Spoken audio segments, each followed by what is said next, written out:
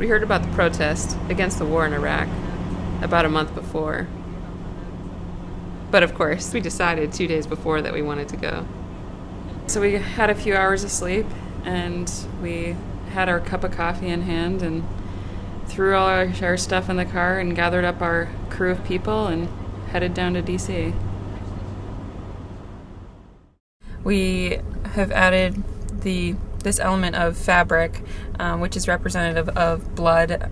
So, um, what we've done is each person, the September 11th, a woman, and the um, soldier and the Iraqi civilian both have fabric that represents the number of people killed. Each square, each inch equals 12 casualties. So, we're attaching these inches to the um, business cards.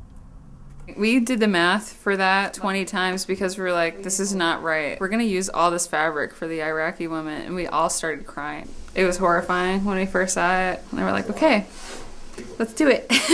But you could have the soldier come and march up with it and then mm. take Right. the end and then yeah. and, I Can't and walk away then- from you while you're just holding it, Right, right. pulling it away. I also like the surprise of how much stuff is actually Yeah. in there instead of like kind of seeing it and then when it unravels it's like yeah sure it's a little bigger but if you can't see it at all and then Yeah, it's being keeps pulled coming, out keeps coming, keeps coming. yeah All way no, around. no, you should go all the way around like this way through the, the so I should um do it from my left side or whichever way. And then and then like this.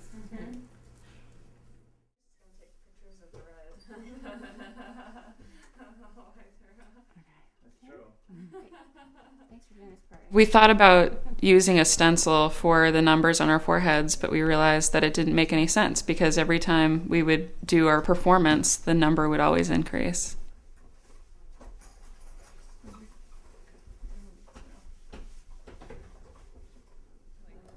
I always love that moment when you step out of the house or step out of the car where you're all dressed up and you know you're not quite ready for action or ready to do the performance, but you're getting ready and people are witnessing you getting ready.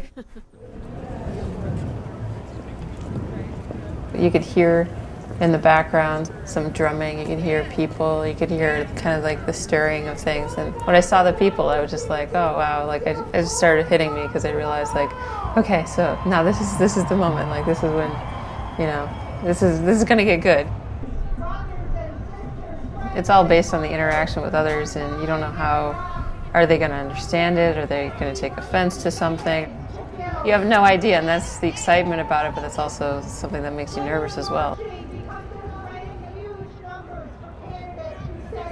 you look at them and you realize it takes a little minute, but you realize they're all the same face, and it's it's just it's a very interesting statement because we all are the same, you know, in many ways. But here it's very obvious because we see it. It's great. I just I didn't realize how huge the difference was between U.S. casualties and Iraqis. It's just it just leaves me speechless, you know. I've been to a lot of anti-war rallies, lots of them, lots of them. You know, it's like for years, decades, Vietnam, all of it. Never seen anything like this. Thank you. Thank you. Thank you. We knew that the stairs would be a really good effect. It'll really look like a river streaming down the steps, and and so we kn- we knew where we wanted to set up. It was right at the top of the stairs in the middle.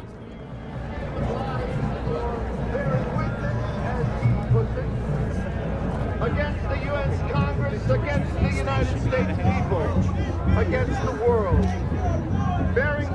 You know, it's so difficult to to conceive of even a hundred or a thousand. You know, the number is just so big.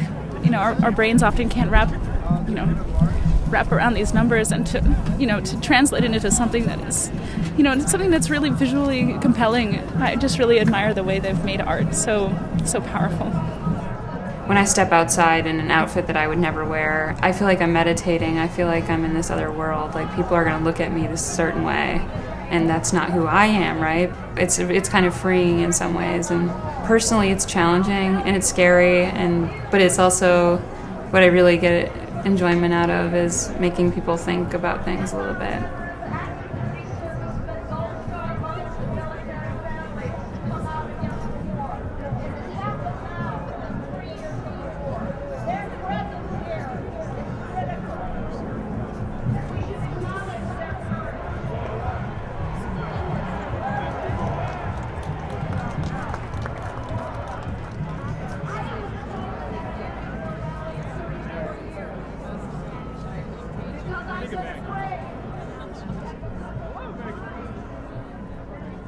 That's the number of soldiers.